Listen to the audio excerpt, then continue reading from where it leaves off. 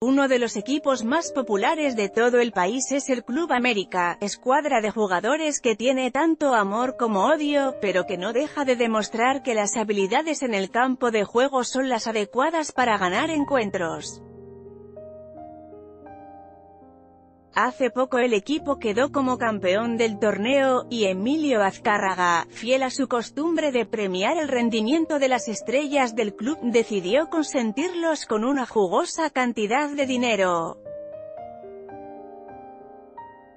Lo anterior, según las declaraciones que realizó Miguel Herrera, el director técnico del Club América, para el programa de Adela Micha, La Saga.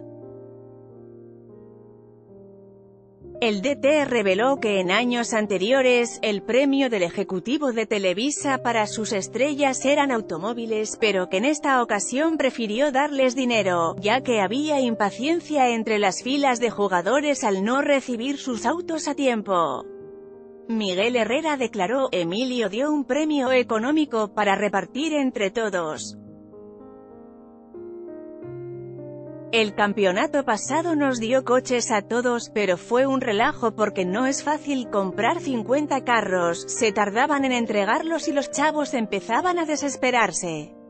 Asimismo, añadió que el dueño del club se enojó y por eso mejor dio dinero. A veces Emilio iba al club y a alguien se le ocurrió gritar, los coches, y se enojó.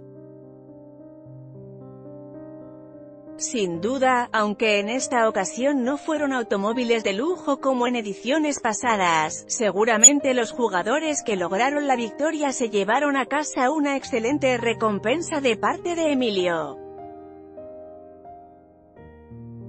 Con información de TV Notas, YouTube y La Neta Noticias. Anímate a comentar. Queremos saber tu opinión. Comentarios Powered by Facebook Comments.